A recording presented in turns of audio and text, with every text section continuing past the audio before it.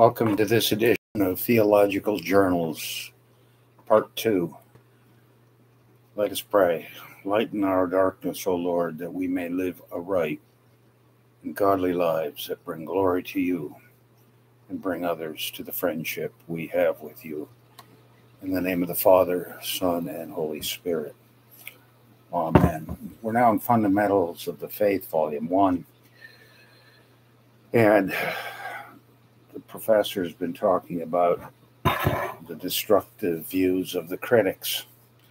Nothing new in these new views. Moreover, these critics claim, for their peculiar views, that they are a new theology and the latest investigation, but that is also untrue. Even in the times of Christ, the famous Rabbi Hillel and his disciple Gamaliel substituted for the Mosaic law all manner of traditions. Matthew 5 15, 2 through 9, 23 16 to 22. Since then, other learned rabbis such as Ben Akiba, Maimonides, and others have engaged in biblical criticism, not only casting doubts upon the genuineness of various books of the Old Testament, but also denying the miracles and talking learnedly about the myths.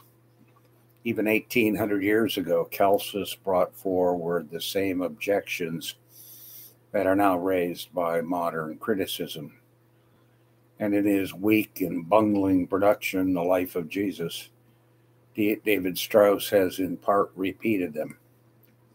And there have been other noted heretics, such as Arius, 317 AD, who denied the divinity of Christ, and Pelagius in the fifth century, who rejected the doctrine of sin.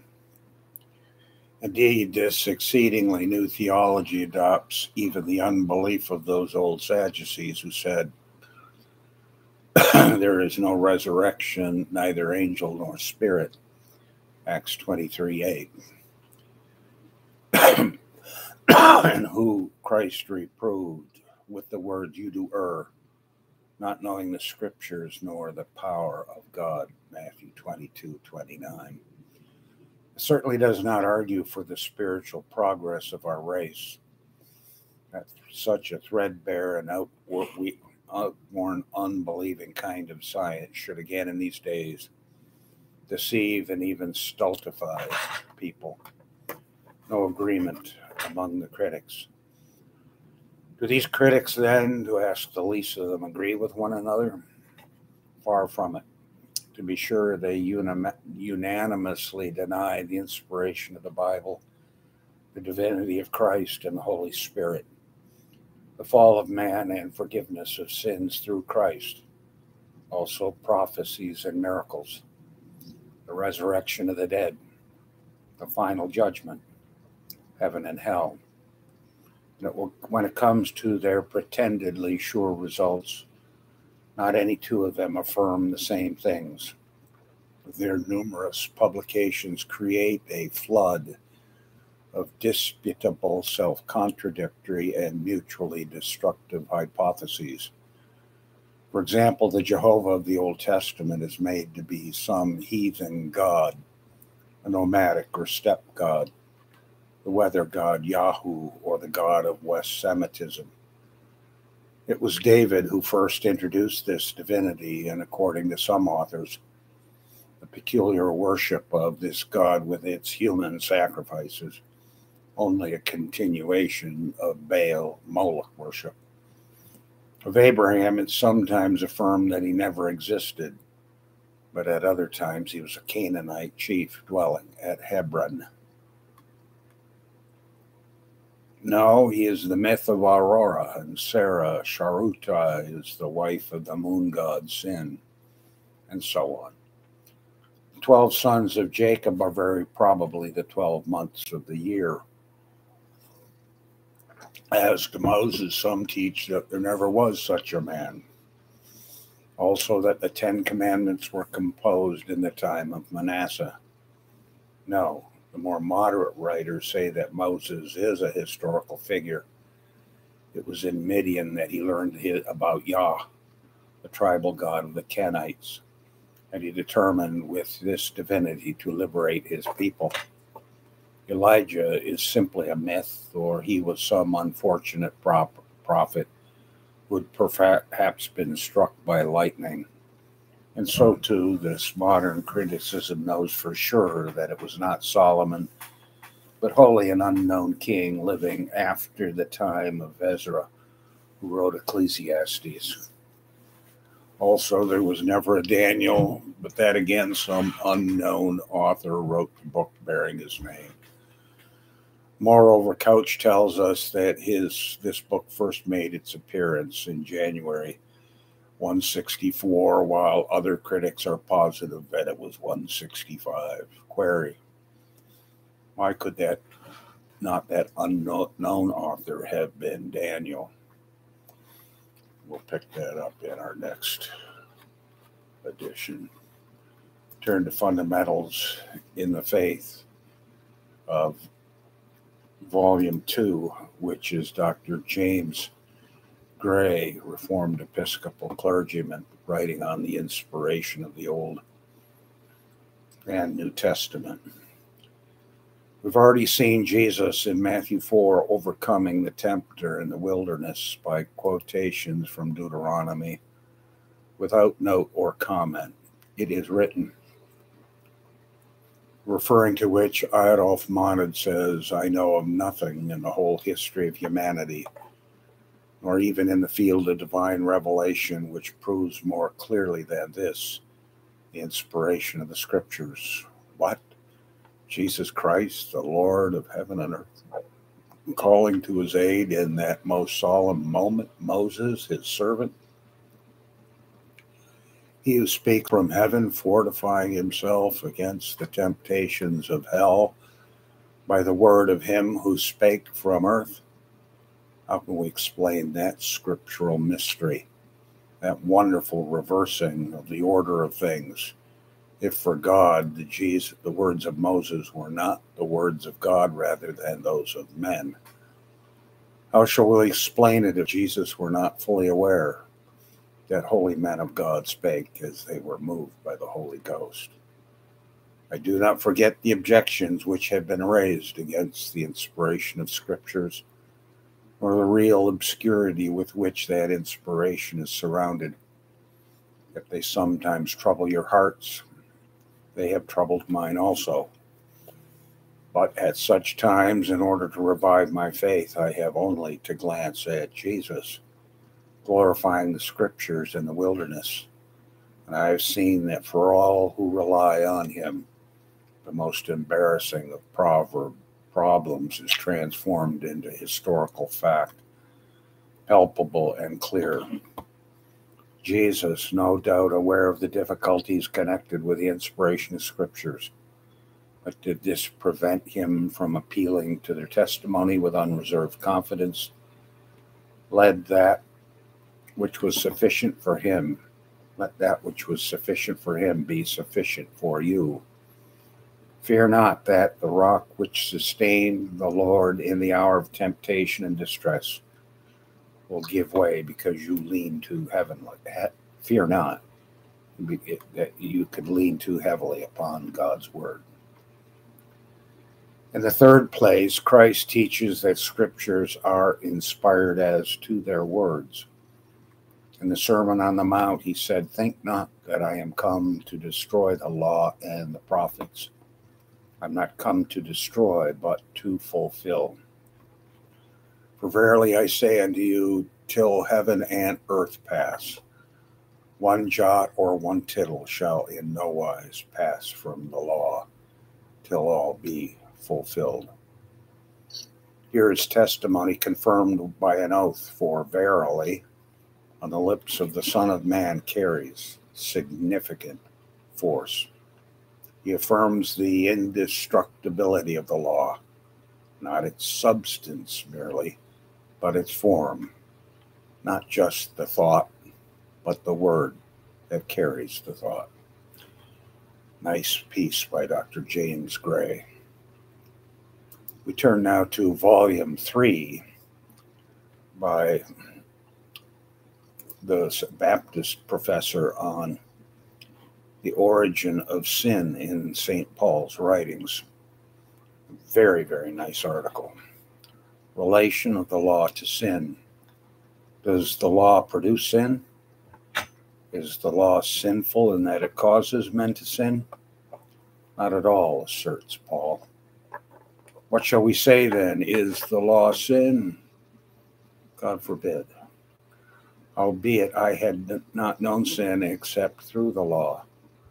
For I had not known coveting except the law said, Thou shalt not covet.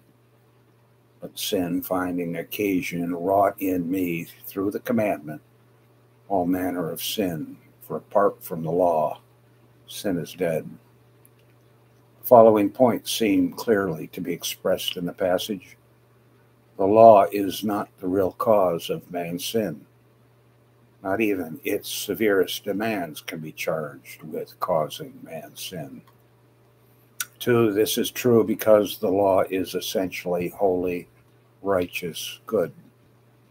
Holy in the double sense of being a separate order of being and conduct, ordained by God and also requiring holiness, or the following of this separate order of being righteous in the sense of being the expression of God's will and the standard of man's thoughts and actions.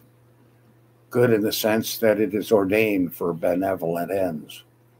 It's also called spiritual in the sense that it was given through God's Spirit and conduces to spirituality if obeyed from the right mo- motive. Number three, but this holy, righteous, good, and spiritual law became the occasion of sinning. This Paul illustrates with the tenth commandment. You would not have coveted if the law had not said, Thou shalt not covet. The Greek word for occasion, aphorme, means literally a base of operations. The sin principle makes the command of God its headquarters for a lifelong campaigns of struggle in man urging him to evil actions and deterring him from good ones. There is something in man which revolts from doing that which is demanded and inclines him to do that which is forbidden. Hence the sin principle using this tendency in man. And so making the law the base of its operation becomes the occasion to sinning. Pick that up in our next edition as we turn to Fundamentals in the Faith, Volume 4, an article by attorney Philip Mauro on the degeneration in American Academy. A warning. It is not difficult for one who has come to the knowledge of truth through receiving the Word of God, not as the Word of men, but as it is in truth the word of God. 1 Timothy 2:13 to perceive the folly and futility of all this. But who shall deliver the ignorant, the innocent, and the unwary from being victimized and eternally despoiled by these men who, professing themselves to be wise, became fools?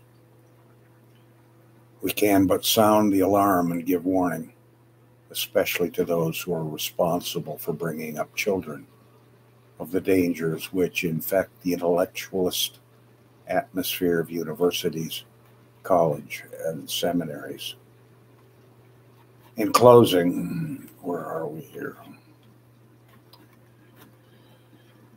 We may, prof- we may, with profit to our readers, point out a profound reason why the enemy of Christ and the men whom he seeks to save should be desirous of impressing upon the minds of the latter the conception of pantheism. That doctrine wholly excludes the idea that man is a sinner and hence puts redemption outside the pale of discussion. Under the influence of that doctrine, men would never discover his corrupt nature and need of salvation and hence, if not delivered from it, he die, would die in his sins. An enemy of man could devise against him no greater mischief than this. God maligned But the doctrine which the philosophy of our day has imported from India works not only to the destruction of men, but also dishonor to God. Herein may its satanic character be clearly perceived by all who have eyes to see. Its foundation principle is that God and man are truly one in substance and being, and that the character of God is revealed in the history of humanity. This evil doctrine makes God the partner with man in all the manifold and grievous wickednesses of humankind. It makes him participate, particip, part, particeps criminis in all the monstrous crimes, cruelties, uncleanness, and unnameable abominations that have stained the record of humanity. It makes him really the prime actor in all sins and wickednesses, since the thoughts and impulses prompting them originate with him. Thus, God is charged with all the evil deeds which the Bible denounces and against which the wrath of God in the Bible is declared. We move on from this that wonderful article to Dr. Michael Reeves talking about Athanasius on the incarnation. In this second volume of Athanasius moves from looking at the word as creator to looking at the word as redeemer. Yet while the focus has shifted from creation to redemption, the subject is the same, the word of God. The two volumes are emphatically about Jesus Christ, and understanding that helps to clear the central assertion of the second volume that the renewal of creation has wrought by the selfsame Word who made it in the beginning. However, the feel of on the incarnation is quite different from that of against the heathen. Here, the dark themes of sin, evil and idolatry are driven out by the words redemption, making on the incarnation, as C.S. Lewis put it, a sappy and golden book full of buoyancy and confidence. C.S. Lewis, Introduction to On the Incarnation. And it's important to feel that difference, important though not hard. Athanasius's punchy rhetoric is stirring stuff. For on the carnation is characterized by an idea of happy, surprising overturning. Even the revelation of God through the Word is utterly surprising. The things which they as men rule out as impossible, he plainly shows to be possible. And the things which these wiseacres laugh at as human, he might, by his inherent might, declares divine. Athanasius starts with the creation of Adam and Eve, explaining that they were created good but corruptible. Of course, they were then corrupted. One almost senses Athanasius suggesting that it was inevitably going to happen. God's great purpose was to unite humankind to his own incorruptibility, so giving them incorruptible life. Once they were corrupted, though, what was God to do? Athanasius is adamant that it would not be worthy of God's goodness to allow humanity to be utterly destroyed. Yet destruction was exactly what was happening to humanity. While the Word had called non being into creation, through sin, humankind was slipping back to non being. What was needed was for the Word to come and recreate humanity. We turn to Princeton Theological Review and this exquisite article on Calvin's view of the atonement. Without such a mediator, our sin leaves us helplessly subject to divine wrath. Quote, when we contemplate God without a mediator, we cannot conceive of him otherwise than as angry with us, a mediator interposed between us makes us feel that he is pacified towards us. For Calvin, it is Christ's mediatory work that brings about salvation. This is quite independent of any metaphor one might choose to illustrate the atonement. Whether Jesus is portrayed as paying our ransom, suffering our punishment, offering himself as a blood sacrifice, fighting our enemies, or even living the exemplars life of obedience he is, in some sense, standing between God and humankind to bring about resolution between the separated parties. From Christ's role as mediator, deriving primarily from his priestly office, springs the notion of substitution, of Christ being or doing something in our place that we could not. This is one of Calvin's most important themes, which peppers nearly everything he has to say about redemption. Regardless of the atonement metaphor he chooses at any given point, the common thread is undoubtedly substitution. Christ in our place, taking our punishment, dying our death, paying our debt, offering our sacrifice. The theme of the gospel is divine vicariousness, Christus pro nobis, the surety of glory. The unifying principle is to be differentiated from the metaphorical model of penal substitution. Here we consider the more general notion of Christ in our place, which need not be juridical in its makeup. In fact, contrary to the suggestion that penal substitution underlies all valid atonement theories, for Calvin, this unifying principle is not specifically juridical, and substitution is a more appropriate undertaking outside of the juridical setting. You seem to have contradicted yourself. Christ's identification with us and the taking of our place in the penal model, as it is traditionally expressed, requires this leap. This may explain some occasions in which Calvin mixes metaphors, temporarily abandoning the penal mode for another. He begins by equating sin with crime and God with a judge and stating that punishment is required. In the case of the example above in Romans 3 24 and 25, Calvin only allows penal language to enter after Christ has already been established as our substitute through ransom language. God has given the price of redemption in the death of Christ, and he bids us refuge in Christ's atonement. In blood, having acquired righteousness, we may stand secure before God's judgment. We now turn to Reformed Faith and Practice and an article by N. Gray Sutanto, Reformed Seminary, Washington, D.C. What counts as biblical philosophy? Reflections from Dru Johnson's Biblical Philosophy.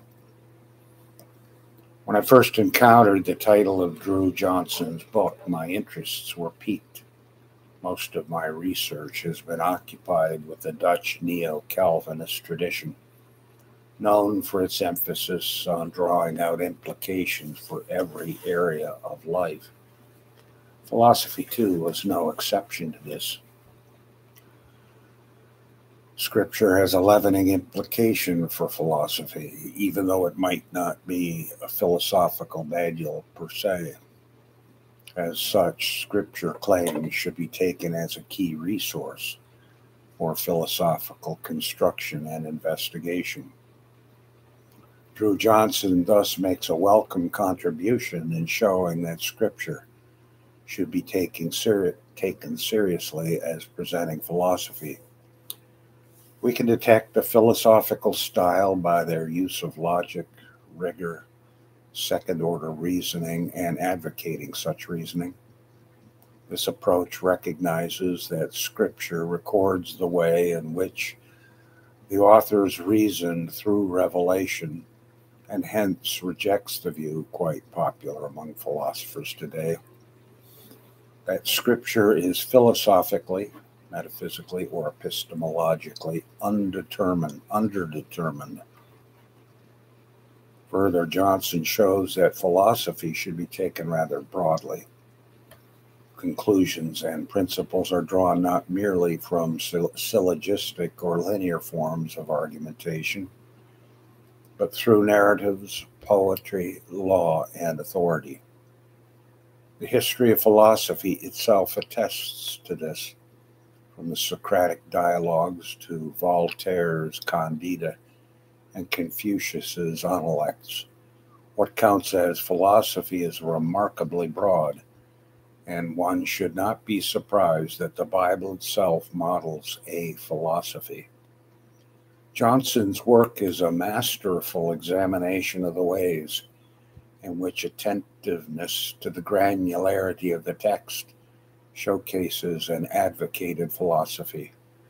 I learned much from his exegetical reflections.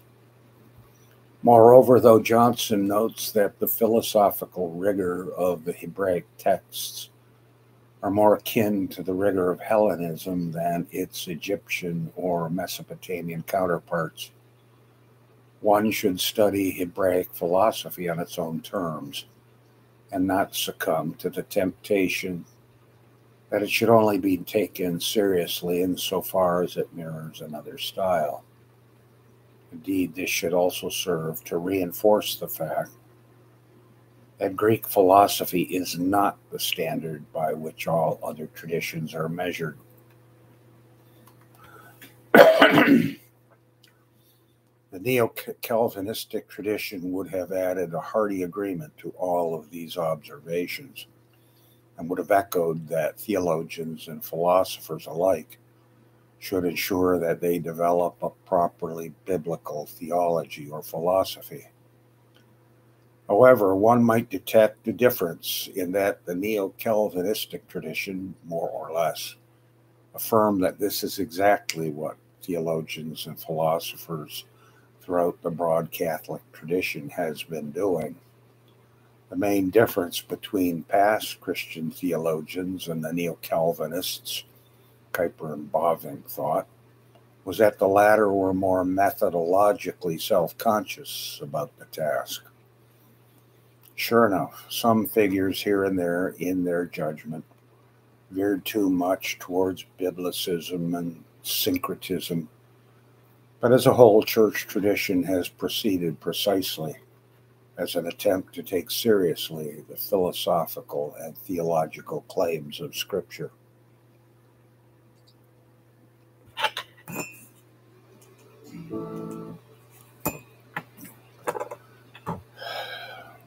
Hence, while Johnson is right that we often baptize our contemporary ideas by an appeal to Scripture to our peril. Such a charge cannot easily be sustained against the broad Catholic traditions of the Church, which includes Augustine's critical deployment of Plotinus, Bonaventure's use of Plato, or more recently, Bavinck's own use of a romantic phenomenology. One might argue that the one or the other does a better job in employing the biblical material but none can be charged with lacking a desire for a biblical philosophy. So when Johnson argues that some in Christian philosophy and theology fund their ideas primarily from the discourses of their traditions, and then secondarily find scriptures that support them, one might have questions.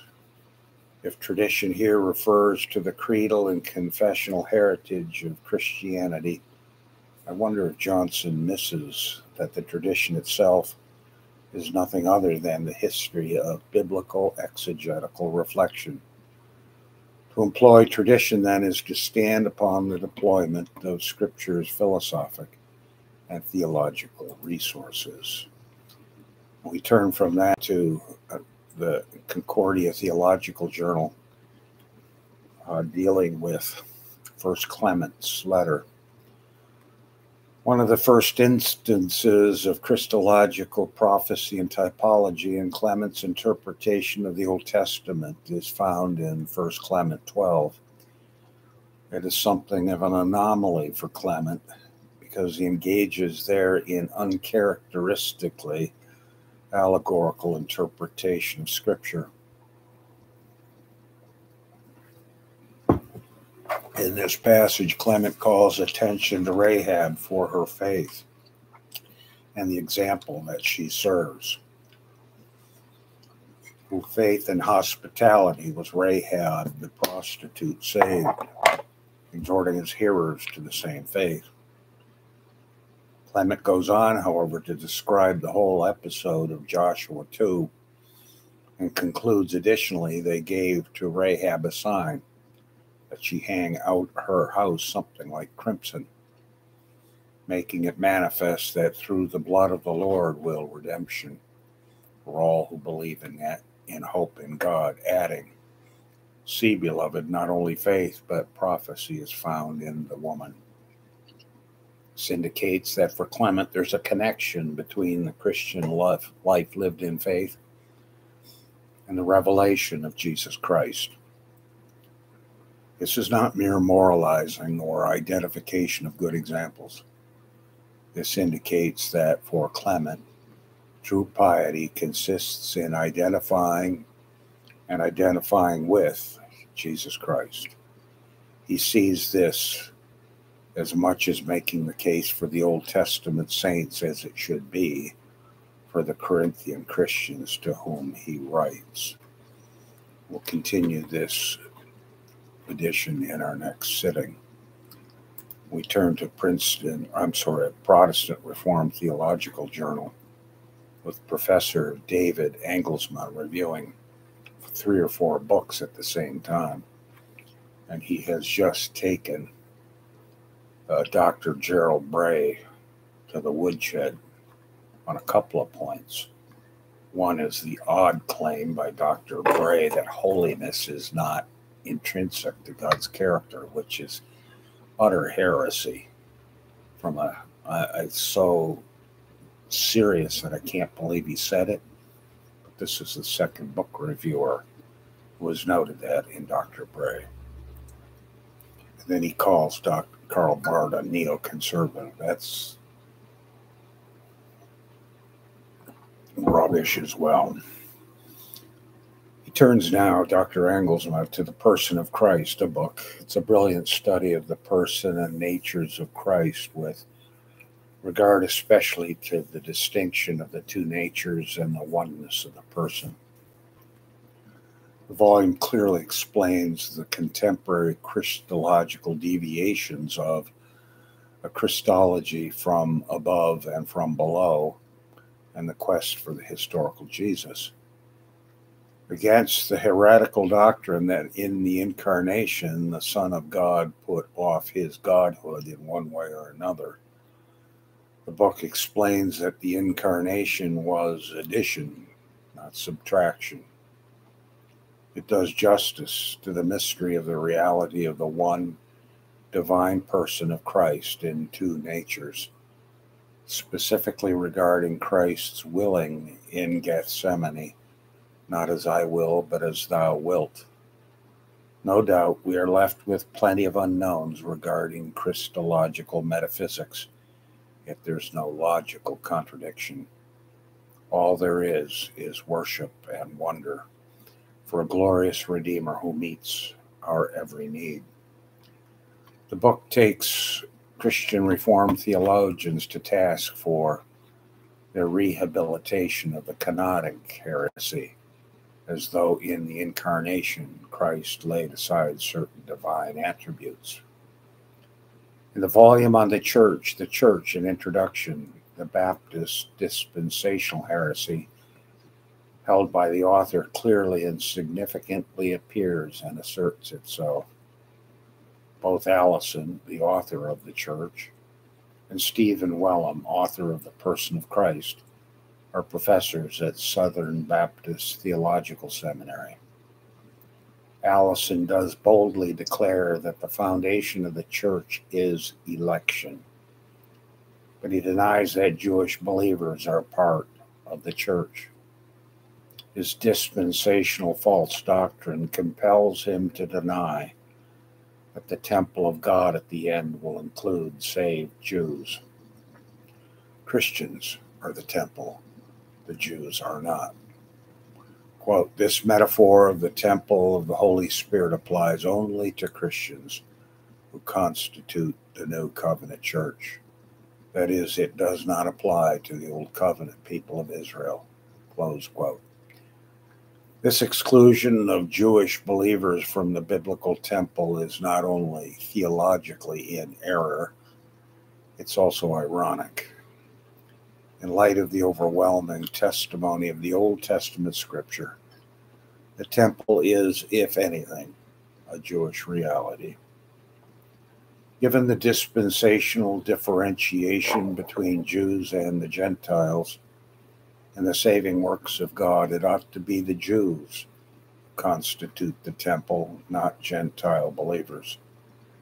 And if in fact it is largely a Gentile church that in reality that is the reality of the temple of the Old Testament in Israel. The oneness of the Old and New Testament believers scares the dispensationalists straight in the face. Well, we turn from that to themelios and soteriology in John, and this is a pretty solid, sound, full, compact article that teems with detail. John makes no direction, just mention of the sin offering. He's been he's talking about Jesus as the Lamb. Yet, although John does not link sin and death as overtly as Paul in Romans 6 21 to 23, disobedience and death are linked.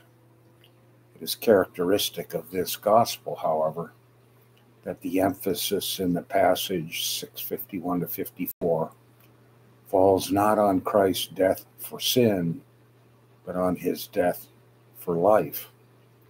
The gospel is about life, which is in the blood, Leviticus 17 11. And in the shedding of blood, atonement is made and given. John reiterates this link between blood and life. To drink Jesus' blood is to have eternal life.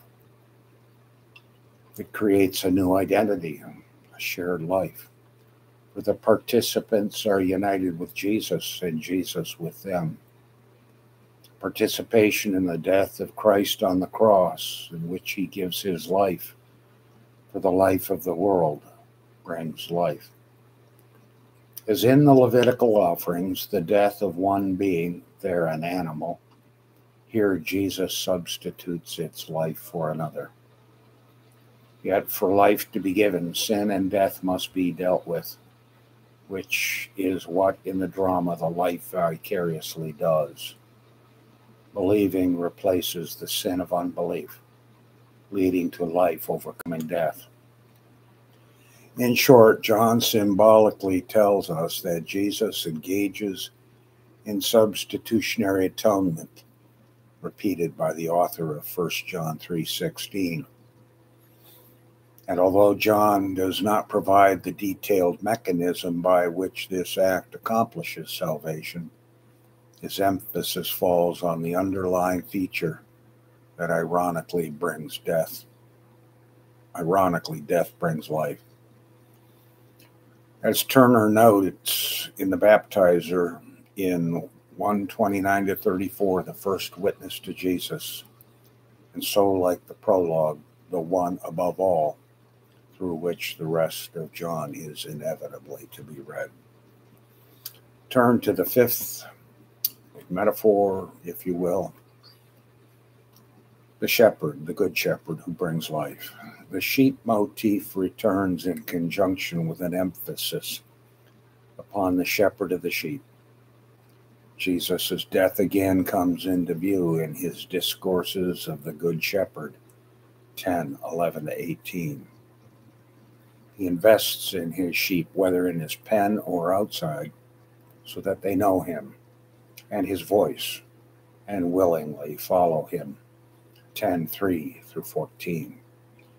Contrary to the hired hand who tends but does not own the sheep, the good shepherd looks to the benefit and voluntarily risks his life for his sheep. Quote, No one takes my life from me, but I lay it down of my own accord. 1017. It is not a matter of necessity. Peter would disagree with that. Acts 2:23. But a free act of obedience that becomes a reason why the Father loves him. It is not that the Father would not have loved the Son had he not willingly died. John does not mean that the Father loved Christ because the crucifixion, crucifixion took place. However, the love of the Father for the Son is a love that is eternally linked with and mutually dependent upon the Son's complete alignment with the Father's will and his obedience, even to death. Jesus does not seek to escape his death, but willingly, willingly absorbs it as a part of his mission. 1227 and 28. We turn now to Themelios, the next edition of it. And I believe we're doing book reviews heretofore three proposals. Oh, this is on an article on the pastor as a scholar pastor. Three proposals. So, what does it look like for a pastor to edify God's people? With careful Christ centered expositions of the whole counsel of God. In my view, the pastor as biblical theologian shares the presuppositions of the apostles, cultivates personal and corporate practices for whole Bible intake, and embraces the glorious purpose of magnifying Christ in all areas of life. Presuppositions, practices, and purpose. The three P's for those readers who appreciate literation. Share the apostles' presuppositions. First, the pastor, as a biblical theologian, shares the apostles' presuppositions about the authority, unity, and fulfillment of scriptures. The first Christians devoted themselves to the apostles' teaching, which has served as the doctrinal bedrock of the church in every generation and in every place. But there's a long standing debate about whether believers today can and should follow the apostles' presuppositions and practices, as well as their conclusions. Some scholars are cautious, citing the apostles' unique revelatory stance and their use of Jewish exegetical practices that were appropriate to explain the gospel for the first century audience, but not for contemporary readers. Thus, Richard Longenecker contends that unless we are restorationists in our attitude toward hermeneutics, Christians today are committed to the apostolic faith and doctrine of the New Testament, but not necessarily the apostolic exegetical methods as detailed for us in the New Testament. Others contend that following the apostles' authoritative teaching entails embracing the hermeneutics and presuppositions about the unity of the scriptures and the centrality of Christ salvation history. Thus, G.K. Beale re- reasons that while we cannot replicate the biblical author's inspired certainty, their interpretive practices remain viable for all saints to employ today. The task of biblical theology, according to Hamilton, is to recognize the biblical author's interpretive perspective as both normative and valid, and then embrace it for ourselves. In this regard, I find the Lord's climactic exposition in the scriptures of Luke 24 44 to 47 to be incredibly important as a model and guide for believers. I unpack this after later. Now turn to the Journal for Biblical and Theological Studies for an empty article by an Orthodox layman on Catholicity. Basically, he is saying that it's good to be in an Orthodox context, but Christ may have his people outside that. That's the basic thrust. What are the theological and philosophical parameters for Catholicity? And it's notable that there's not any exegesis, church history, or systematics going on. This uncertainty at the edges of Catholicity is theologically necessary. God is a person and can do as he pleases. God is only limited by his nature and his will. He has the power to do as he wills. The faithful know that God will not do evil, and so we will see consistency over the centuries in the commands and in truth. Is revealed to humankind most fundamentally in the person of Christ. The church is found where Christ is found, in a gathering of humans, visible and invisible the marks of that church are right belief and practice leading to theosis. Normatively, one will see a bishop leading the people Godward, as the apostles did. The people of God are known by their bishop, and the Orthodox bishop by their people. A worthy bishop is generally known by the fruit of his ministry to the faithful. This church is perfect and cannot die because of the inclusion of the living and dead as members. The saints are with the living faithful, praying for us, leading us by their examples. The Orthodox Church will be known through the ability to produce saints, and if circumstance warrants, martyrs.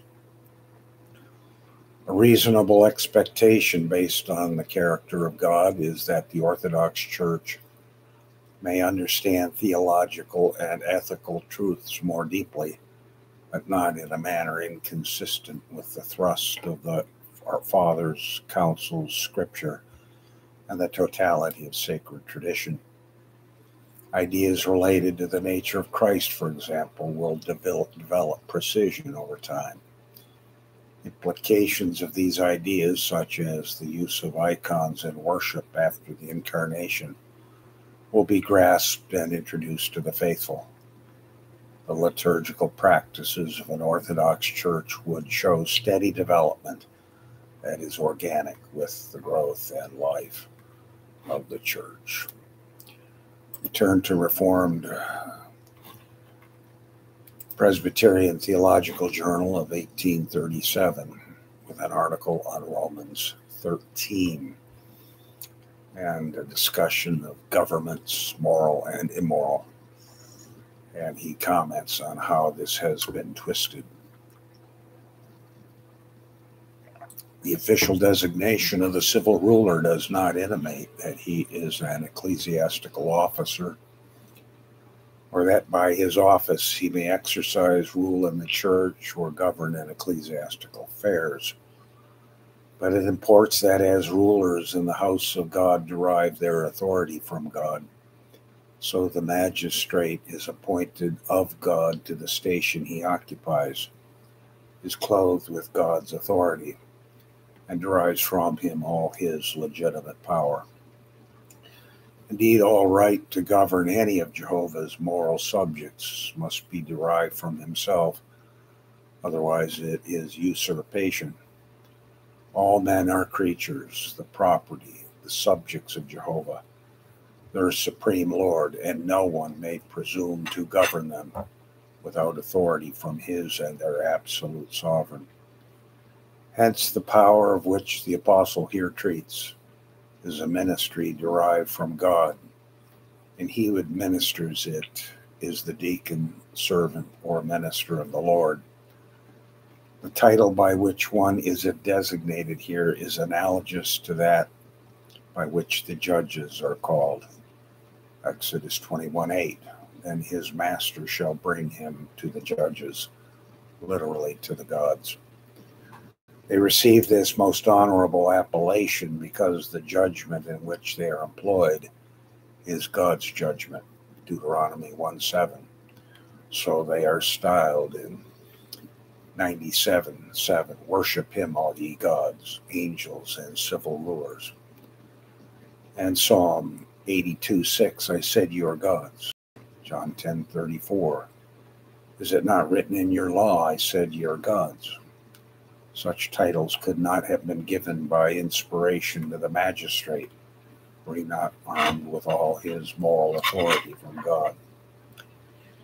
It would not have been necessary to dwell so long on this point, which ought to be taken as an axiom in government, were it not the baleful prevalence of the modern infidel, infidel maximum that the people are the ultimate fountain of all civil power and that rulers are not, as such, bound to subject themselves to God. Civil government is indeed styled the ordinance of man, 1 Peter 2 3. Submit yourselves to every ordinance of man for the Lord's sake. This, of course, means every moral, legitimate ordinance of man. For men ordain many wicked things, as popery, Mohammedanism, Brahmanism and despotism, which are not to be submitted to. Shall we obey God or man? Judge ye. It is called the ordinance of man because God conveys the authority through the people, whose suffrages are necessary to the legitimate exercise of power.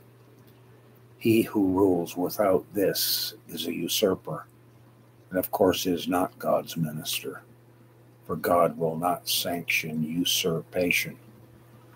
Again, it is from God, for the powers that be are ordained of God. Verse 1. The words here rendered are ordained possess great emphasis in this connection.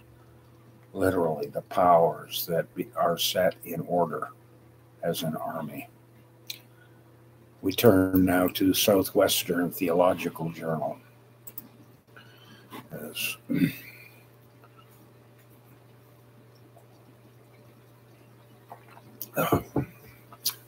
and we're talking about a book review here. Already sanctified a theology of the christian life in light of god's completed work by John, don J, J. Payne. He's on facebook i think. Presbyterian i think no, it's a Baptist. It already sanctified a theology of the Christian life in light of God's completed work. Don Payne, Associate Professor of Theology and Christian Formation at Denver Seminary, seeks to rescue the doctrine of sanctification.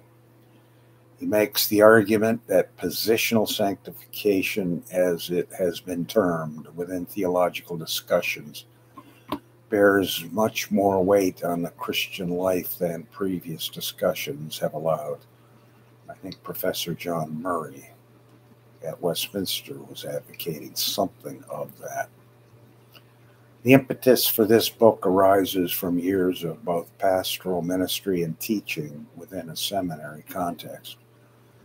Specifically, Payne argues that the present and future aspects of sanctification can properly be understood only in light of what has already been accomplished. The short text teases out the idea in biblical and practical perspective and serves as a helpful corrective, even if there might be some areas left unresolved in the debate. Chapters 1 and 2 provide a brief history of the Reformation conversation on sanctification as it arose in contrast to medieval Roman Catholicism. Here, Payne specifically looks at two reformers, Martin Luther and John Calvin. drawing conclusions from their thought on sanctification and justification as they relate one to another. Chapter 2 traces the line of thought a little further into later traditions such as Wesleyanism and the later Keswick movement, two movements highly influential within evangelicalism. Payne could have said more on the history of sanctification within Protestant Reformation, the pietistic tradition within Lutheranism that arose soon after the Reformation is important here. And other Reformed inheritors of Calvin's thought within Europe and the British Isles are also important to consider. I believe it would have been helpful to give readers additional coordinates to locate this discussion more historically, especially as it relates to evangelicalism. Relying on authoritative sources such as Richard Lovelace, he was at Westminster, might have been useful to elaborate this more for the sake of providing further context and background to the issue at hand. I question his conclusion that Westminster and its language of further sanctified really and personally should be considered a sliding scale. What the Westminster Divines and other Calvinistic teachers would have called this would be holiness, piety, or experiential theology. What was considered personal sanctification would have been subsumed into a facet of election and regeneration which was no less important a discussion, even if they moved on to the experience in holy living. Payne asserts that the confusion that results from a psychologically subtle interface between trusting God and just the right manner and engaging the right type of disciplines. This is a helpful observation and sets up the rest of Payne's argument and work through the text that he presents.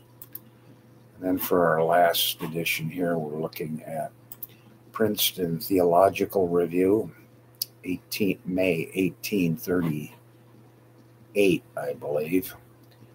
It's certainly back in the days of Archibald Alexander, and they're doing a book review on the early letters of Melanchthon, tracing Melanchthon's developments we really enjoy when they do book reviews. Wolsey, he says, would have found no fault with Luther if he had not denied the primacy of the Pope to be jure divino. So much did such men care for dignities and powers than for doctrines, such as Wolsey. Erasmus then goes on to say, Those who favor Luther and indeed all good men favor him, could wish that he had written with more mildness and civility. Yeah, go ahead, Erasmus, you flatterer and sycophant. Luther had a target on his back and would have been burned at the stake while you waffled and gabble fested. But it is too late now to talk of that. I see that the affair tends now to revolution. This is Erasmus on Luther. I pray that it may turn out to the glory of Christ. Now you get your paycheck and your patrons, Erasmus. He could be bloody and merciless when he needed me. And then when he needed a patron for some money, he was the biggest sycophant around. I have very little use for Erasmus other than his textual work in the Latin. Plus, he was a semi Pelagian at best. Died in Basel in 1536.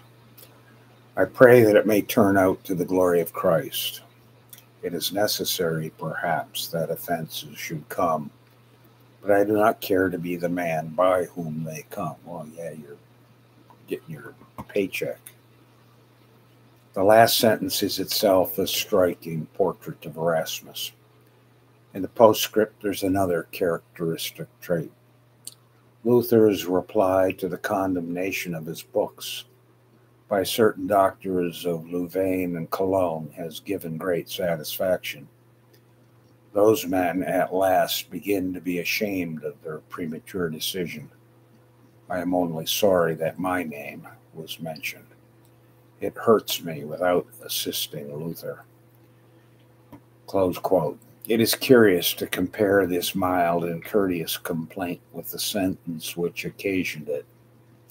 In the reply, Luther, after having named several others, adds, quote, I passed by Faber Stapulensis and Erasmus, that ram caught in the thicket by his horns, close quote. Every reader acquainted with the history of the times must be equally impressed with the felicity and truth of this uncivil metaphor, and with the characteristic contrasted and exhibited between the two great men. The spirit of Erasmus is displayed not only in the actual expressions of his letters, but in its obvious design as a complaint against Luther's rudeness, and at the same time an attempt to cry for his mercy.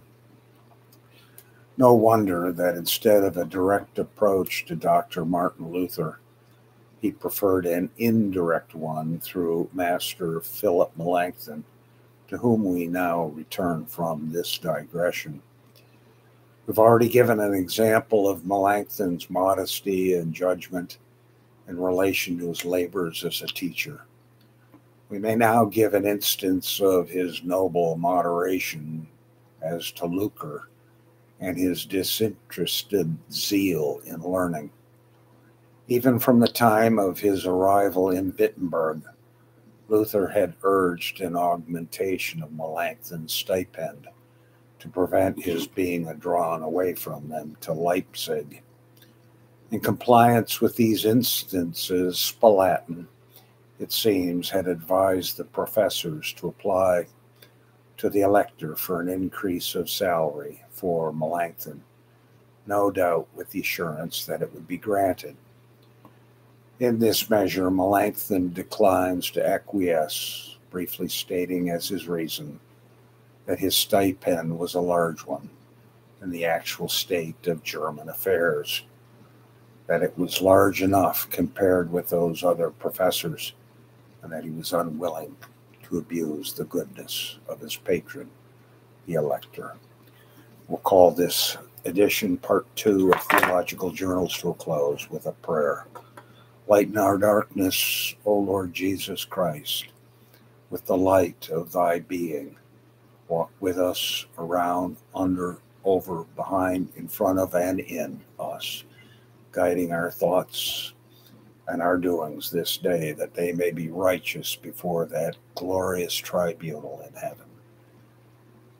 In the name of the Father, Son, and Holy Ghost. Amen. Here ends this session.